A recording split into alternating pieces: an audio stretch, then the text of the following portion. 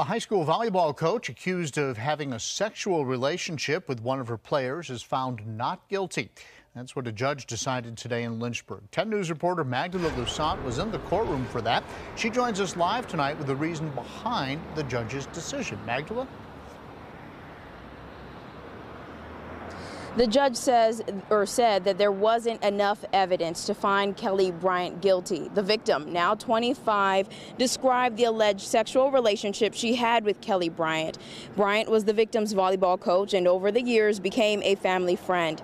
The victim says she was a freshman 10 years ago at Heritage High School when the relationship became sexual. She testified she and Bryant slept in the same bed when at travel games, but that her mother and grandmother were in the same room. And the the sexual acts began in April 2009 at Bryant's home. Bryant testified denying the allegation, saying they were close friends, but it was not a romantic relationship. The victim said it was consensual and she never told anyone until reporting it to police in November last year. In court, the Commonwealth had no pictures, video, or paper evidence of the alleged crimes.